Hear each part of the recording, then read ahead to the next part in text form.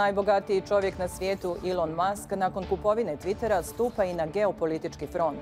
Hoće li milijarder bez imalo diplomatskog iskustva krojiti svjetsku politiku? Razgovaramo s izvršnom urednicom netokracije Anom Marijom Kostanić. Na kraju emisije otkrivamo i šta kriju lažni oblaci kroz ekološki projekt kustosice Gabriele Zajce.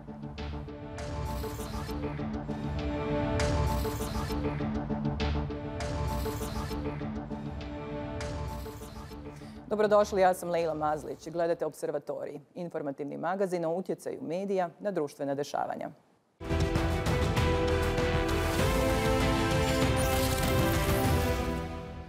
Elon Musk od ove godine najbogatiji je čovjek na svijetu, prestigavši po bogatstvu i stabilne milijardere poput Jeffa Bezosa, Billa Gatesa i francuske porodice Arnaud. Nedavno je kupio i najveću komunikacijsku platformu na internetu Twitter, što mu je dalo dodatni vjetar u leđa da se počne smatrati i geopolitičkim igračem. Na Twitteru se upušta u ozbiljne rasprave sa državnicima o sukobima u zemljama u kojima ima poslovne interese. I dok je dobro izazivati disrupcije u biznisu, u geopolitici to baš i nije pametno. Koliko ovaj milijarder i njegove online bitke na Twitteru utječu i na moguće ishode realnih konflikata na terenu, govori prilu kolega Sal Jazeera English. Na neki način Musk je jedinstven milijarder. Ne poznajem ni jednog drugog milijardera koji je uspio pridobiti toliku pažnju javnosti, da toliko ljudi priča o njemu. Očito je motivisan time. Ima duboku želju biti važan. Želi se uključiti u sva područja u kojima on nema stručnosti i to je veoma opasno. Bilo da je riječ o Twitteru u aprilu ili njegovoj raspravi s Ukrajinom o budućnosti Starlinka, sve se čini da živimo u svijetu Ilona Maska i mislim da se njemu tako sviđa.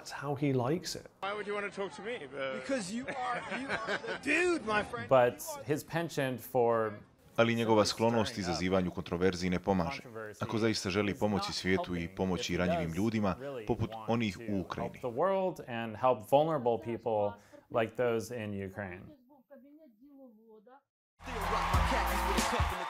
Musk je najbogatija osoba na planeti. Većina njegovog društvenog kapitala dolazi od više od stotinu miliona pratilaca koji prate svaki njegov tweet. Za Ukrajince Maskove objave o njegovom planiranju pa onda neplaniranju kupovine Twittera ili trolanju njegovih kritičara sporedne su epizode u daleko ozbiljnijoj priči. Zato što se oni oslanjaju na Maskovog provajdera satelitskog interneta Starlink kako bi ostali informisani i umreženi. Novinari se oslanjaju na Starlink kako bi poslali priču iz ratne zone u svijet. Za ukrajinske vojne snage Starlink je oružje koje im daje odlučujuću prednost na bojnom polju.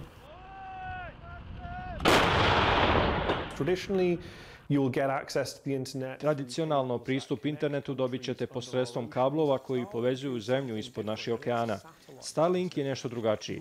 To je satelitska internetska veza. Mnogi od ovih satelita su u niskoj zemljinoj orbiti, otprilike 550 km iznad površine naše zemlje i dozvoljavaju ljudima koji nemaju tradicionalne konekcije da se i dalje povežu na internet. To je spas za Ukrajince jer mogu prenijeti užase koji se dešavaju tamo upravo sada. Starlink je apsolutno neophodan jer je dozvolio sigurnu komunikaciju između ukrajinskih trupa, za razliku od ruskih trupa koje ponekad koriste otvorenu radijsku komunikaciju što ih čini i otvorenima za napade. Ukrajina je bila u stanju koristiti moderne tehnologije i modernu komunikaciju koja joj je omogućila da izvede veoma složene misije izvan službenih linija. Nema drugih riječi. Starlink je bio heroj usluga za mnoge Ukrajince, ali veća poenta je da nema dovoljno transparentnosti u Starlinkovim financijama o tome kakvi su njihovi aranžmani sa SAD-om ili bilo kojom drugom vladom, s kim tačno Musk razgovara, s obzirom na to da je on na čelu ove kompanije koja odjednom pruža usluge od suštinske važnosti jednoj populaciji koja je zaista ugrožena.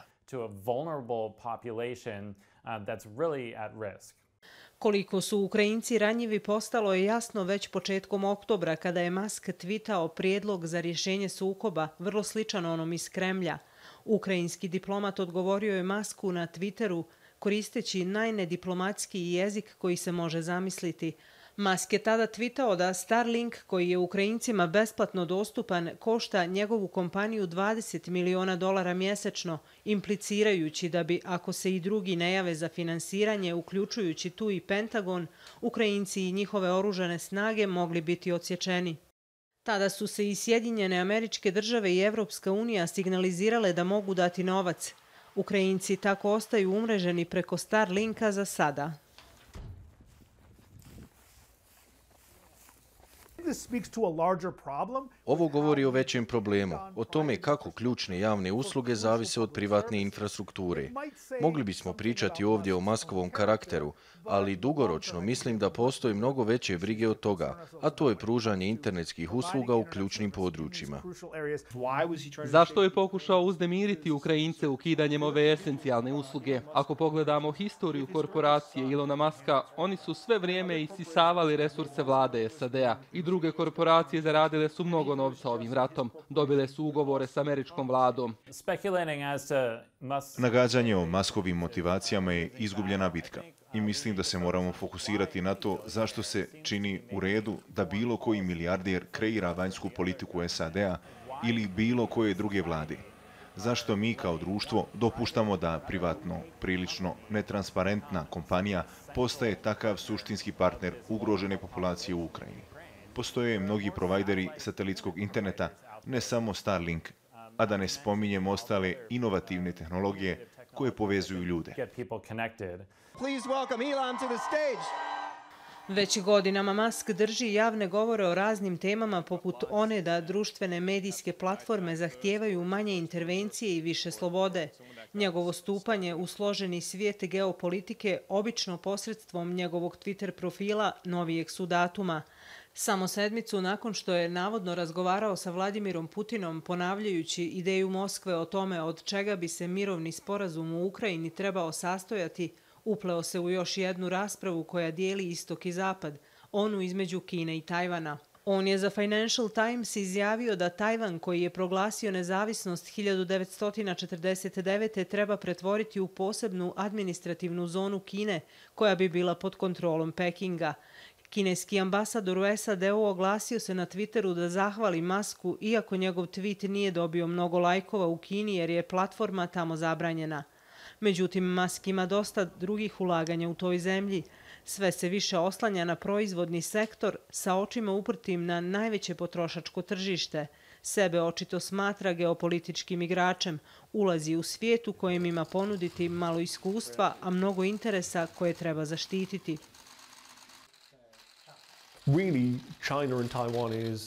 Kina i Tajvan njemu su veoma bitni jer ima ozbiljna interesovanja u Kini u vezi s Teslom. Kina je veliko tržište, zato želi zadržati kinesku komunističku partiju na svojoj strani. To je ono što ga motivira u javnim istupima. To je na kraju krajeva za njega samo još jedan biznis.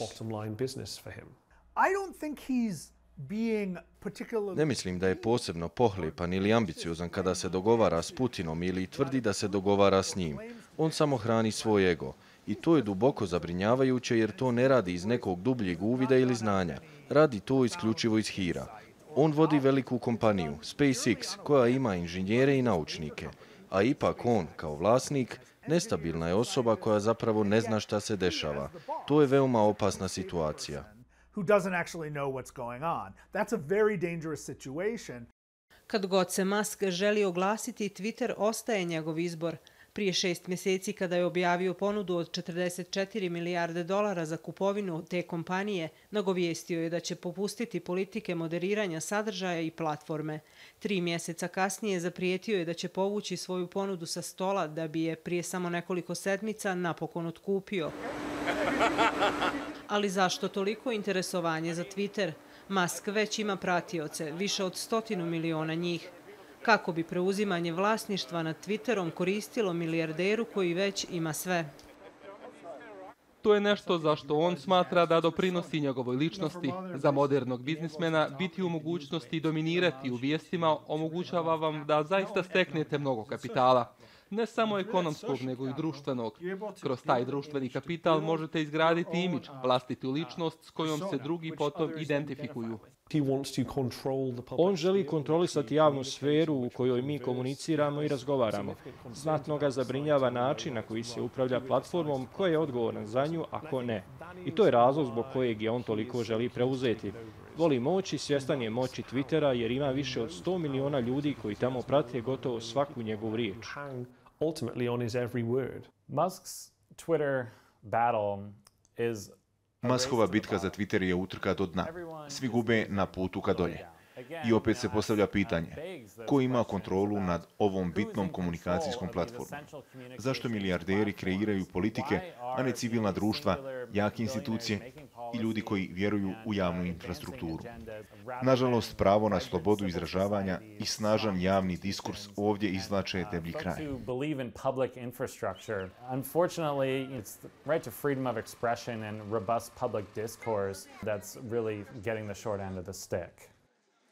Je li svijetu potreban milijarder s nula iskustva u diplomatiji da se upušta u geopolitičke rasprave? Razgovaramo sa Anom Marijom Kostanić, izvršnom urednicom Netokracije, vodećim regionalnim magazinom za sve koji žive za, na i od interneta. Ana Marija, dobrodošli u observatoriji. Dobro vas našla. Hvala vam. Evo šef tweetova, kako sebe naziva Elon Musk, sada je i vlasnik te kompanije. Koliko time politika Twittera ostaje u službi javnosti, a koliko u službi ambicioznog milijardera? Pa danas 230 milijuna ljudi dnevno objavljuje tweetove i ako stavimo to u neku perspektivu koliko zapravo ljudi time može utjecati na razno razna pitanja društvena, politička i slično, imajući jednu platformu pod svojim e, okriljem, takav milijarder e, može definitivno upravljati na načine koje mi sada vjerojatno ni ne možemo zamisliti i koji možda se čine subtilni u ovoj situaciji gdje se tek postavljaju stvari, ali u narednim mjesecima ćemo vidjeti zapravo širinu toga što znači kada jedna osoba preuzme čitavu ovaj, moć i, i na neki način uh, pitanje regulacije i, i svega što zapravo utječe na to kako će se ili moderirati sadržaj ili odobravati uh, ljude za određene, na primjer, eto, verifikacije njihovog identiteta, odnosno njihovih profila. Tako da bit će zanimljivo vrijeme u kojem ćemo gledati kako um, odluke jedne osobe utječu na tako veliku platformu, ali naravno već sada vidimo da, postoji tu nekih, um, ajmo reći, trzavica između javnosti i milijardera i da on neće moći zadržati tu neku dobru možda stranu svojih obožavatelja koji su ga dosad podupirali.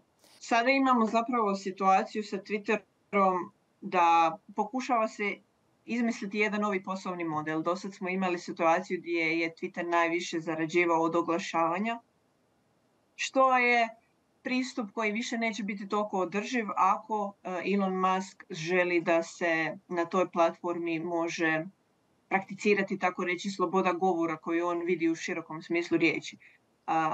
Sloboda govora uključuje i razno razne pa e, nepodobne načine ovaj, izricanja primjerice netrpeljivosti prema manjinama i sličnome.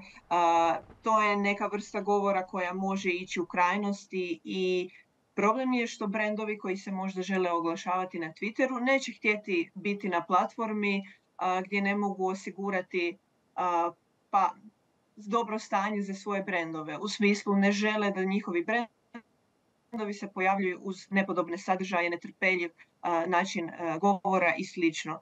Nego će se morati prebaciti na neke situacije kao što vidimo sada da će morati uvoditi pretplatu koja se prebacuje zapravo na samu publiku. Znači, mi koji smo dosad bili proizvod, koji se predavao tehnički oglašivačima, činjenica da nas je toliko na toj platformi, više ne drži na isti način vodu, odnosno prebacuje se zapravo sada plaćanje na nas, gdje Elon Musk igra na tu neku šačicu zaljubljenika u Twitter koji su voljni platiti, na primjer, preplatu na sam Twitter, koja bi onda uključivala neke razne ovaj benefite između ostalog da se e, može odgovoriti korisnicima da imaju prioritet odgovora korisnicima odnosno takozvani replyevi e, da imaju prioritet u spominjanjima, u pretraživanjima, nekim raspravama koje se budu odvijali. To nas isto dovodi do nekih drugih pitanja i problema o kojima se možemo i dotaknuti, ali uglavnom problem je naravno što e, definirati prioritet koji se može kupiti takvom jednom preplatom dovozi, e, donosi neke i strukturne probleme oko toga e, da ljudi kupuju zapravo svoj status. Ana Marija, šta se zapravo desilo sa Maskom? Ako se vratimo u 2015. tada je imao pozitivan imidž kao osnivač kompanije SpaceX. Ona je te godine uspješno lansirala svoju prvu raketu u svemir. U isto vrijeme javnost mu se divila zbog Tesla automobila i svih inovacija u autoindustriji. I evo, samo sedam godina poslije, imamo Jekyll i Hyde scenario. Tako je, tako je, da. E, njegovi uspjesi tada, 2015. 2016. dosta su obilježili njegov imidž i to je on, jedan val na kojem je on tehnički jahao svih ovih godina, ali postepeno smo iz godine u godinu vidjeli kako zapravo se srozava njegova slika i to primarno zbog nekih njegovih aktivnosti. to su bila obećanja koja su slijedila nakon tih nekih prvih uspjeha u vezi i Tesle i SpaceX-a bilo je tu i najava milijunske flote autotaksija, odnosno robotaksija već prije dvije, tri godine i on najavljivao da će imati tim takvih robotaksija. Pa su tu bile i različite neke druge obećanja između ostalog i da će povezati tunelom New York i Washington super brzim tunelom i slično. Ništa od tih nekih velikih ideja i ambicija naravno nije ovaj, se realiziralo i možda je tu pomalo padalo povjerenje u njega, ali opet on se uvijek prezentirao kao vizionar i možda mu ljudi nisu to uzimali ovaj, kao neku lošu stvar, ali problem je što se on baš kroz Twitter sa svojim impulzivnim i ponekad i nepromišljenim, naravno to ide na kraju jedno s drugim, izletavanjima i o svojim, na primjer, e, poslovnim e, informacijama i sličnome, dosta uvalio i samu kašu. Ipak internet platforma Twitter nosi sa sobom i javnu odgovornost. Evropski komesar Thierry Breton već je odgovorio Masku da će ptice u Europi letjeti po EU standardima. Regulacijom Twittera bavit će se očito agencije i tijela. Ali ko će regulisati Maska? S obzirom na to da njegove poslovne odluke direktno utječu na civilno društvo i na javne i državne institucije. Imamo tijela, poslije tijela, naravno i u Americi, u Europi, koja se brinu za takve stvari to su već ono, neka viša razina tržišnog poslovanja koji se mora regulirati. Neke stvari koje nužno još nisu regulirane su siva zona gdje će biti problem i pitanje hoće li i tko će moći uh, maska uvesti u red. Ali da, postoje uh, načini između ostalog što se tiče nekog moderiranja sadržaja. Na primjer, Facebook je uveo svoj nadzorni odbor prije dvi, tri godine tamo nakon Cambridge analitike koji, se, koji je nezavisno tijelo i koje umjesto da oni odlučuju o nekim teškim slučajevima moderiranja sadržaja i da li izlaziti sa nekim a, tweetovima i slično, oni preuzimaju odgovornost na to kao nezavisni stručnjaci i profesori da odluče o takvim težim slučajevima. Pa se nadam da će i on, jer najavio je već da će uvesti jedno takvo vijeće za moderiranje sadržaja, da ćemo tu imati još jednu ovaj, još jedan alat da ga se na neki način suzbije uh, i onemogući da previše koristi svoju moć.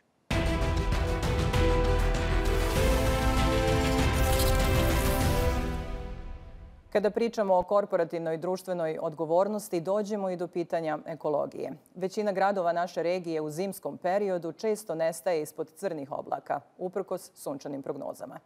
I dok nas lažni oblaci varaju, umjetnost može učiniti vidljivim zagađenje naše okoline. Kustosice izložbe Lažni oblaci odražane u Sarajevu kao glavne uzroke ovog ekološkog nasilja Navodi privatizaciju teške industrije, nedostatak vladinih mjera i neregulisane međunarodne investitore koji eksploatišu lokalne resurse. Poslušajmo Gabrielu Zajić. Ja sam Gabriela Manasajt, e, živim u Sarajevu već tri godine i ja sam kustozica izložbe Lažni oblaci. Um, yeah, so the exhibition False Clouds is about the topic of environmental pollution. And I chose the name False Clouds because pollution often comes in a way that we can't really perceive it, or we perceive it later when it is already too late. So they come in forms um, that they even look beautiful sometimes, but they deceive, and that way we don't uh, really relate the effects of it um, to the sources. And with the exhibition, I uh, wanted to make these um, relations clear. So artworks, for example, uh, use the image of um, a turquoise shimmering lake. That's work by Adnan and Nina Softic. And um, it looks very beautiful. It looks like um, something very paradisical. But actually it shows um, that this um, lake is highly um, polluted with toxins because the nearby coal power plant releases ashes from there um, and releases it in water because it binds it. And that makes this very beautiful color, but actually as soon as this water evaporates, only the toxins remain and you have like very um, polluted dust because of which like many people in the surrounding area uh, have cancer and leukemia. So with the artwork, um, something is highlighted that we usually can't really uh, perceive as what it is. Um, so the artworks came together in very different forms. Initially, the exhibition was planned as an exhibition with three artists, actually. That was before the pandemic. And uh, during the pandemic, I had a lot of time to um, expand my idea the idea came from a very like polluted winter day in Sarajevo. Uh, I got bronchitis and I was like, wow, why isn't there more care about this topic? And then I had the idea about the exhibition and um, I got to know more and more artists. So it kind of um, grew organically. And uh, I researched artists. Uh, that's how I came up with uh, Rodrigo Lebrun from Brazil, for example. Then uh, I knew some artists and I approached them and asked them if they would like to do something for the exhibition. And then also some artists approached me uh, once they knew about this project. Mm, so the artworks have this power to um, highlight um, pollution uh, because the topic is something very heavy and of course we're not always in the mood to engage with it and uh, sometimes it's also easier to ignore it.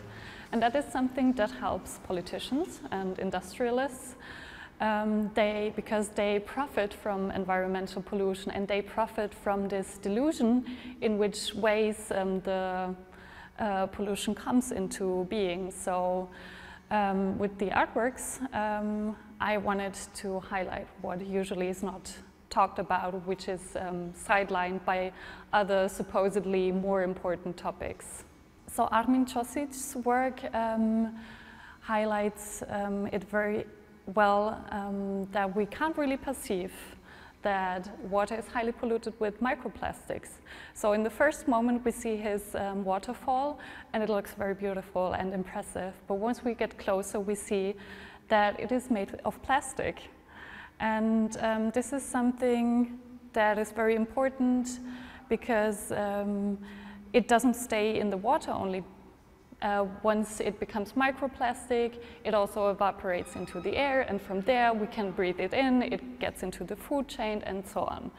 And um, the waterfall highlights that water is something very unique on Earth, and there is this theory that water came from um, the outer solar uh, system. So it's a gift that we don't um, value as what it is and we treat it in a very different way. So the next uh, project could be uh, that this exhibition travels. Um, let's see, that would be very interesting to see how uh, it can relate to other um, locations also, which have again different um, issues. And uh, what I found very um, important also was it is a local problem to highlight it really with uh, very local um, artworks that um, make it graspable. So there's, for example, Alma Suljevich's work about the mines, and often it is not talked about that mines also um, pollute um, the soil. Or there is um, the artwork by Edin Vejsilovic about the Neretva. Um, Danilo Cresu's work about the effects of environmental pollution on animals which is also a topic very sidelined because often we think about um, the effects on humans but not on other species. And then it, it is also a global pro problem and this is interrelated because um, countries who do, do not want to have like pollution in their countries outsource it to other countries and it doesn't really stop to exist this way, but it is just um, affecting uh, other places. And uh, I wanted to make clear these interrelations with global warming also. So um, therefore I also invited artists who connect this issue with other places and with this very global um, problem. Došli smo do kraja večerašnjeg izdanja. Ako ste propustili dio, emisiju možete pronaći na našoj web stranici. Družimo se za dvije sedmice.